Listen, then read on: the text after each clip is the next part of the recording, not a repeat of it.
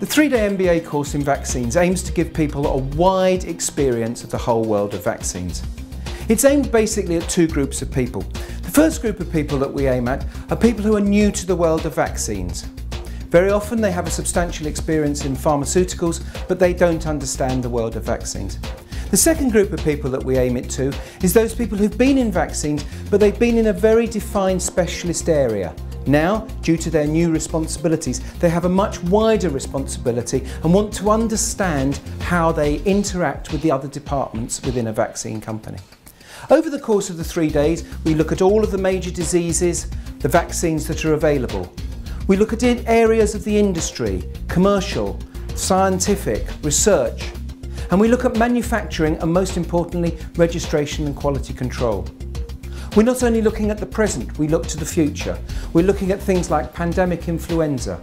We're looking at cancer vaccines. And there's a long session on the vaccines of the next 10 years and the techniques which will be available to manufacture those products.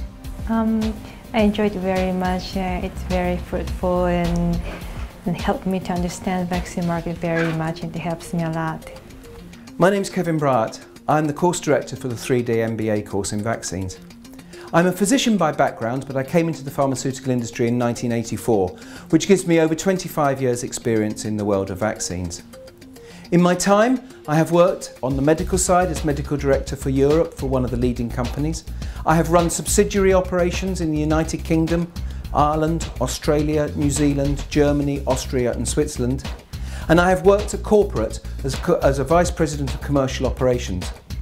I even spent three years running a factory in Liverpool after it had some issues with its, with its manufacturer's license. I left the pharmaceutical industry in, in 2006 and I am now employed as a freelance portfolio director. That means I'm chairman of some companies, I'm a non-executive director and I spend a lot of my time travelling the world lecturing on the subject of vaccines. In three days you will have had a look at the whole world of vaccines we will have looked at every aspect of the vaccine technology and the commercial elements.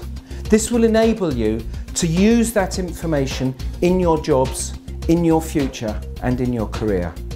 You will have covered vaccines in three days.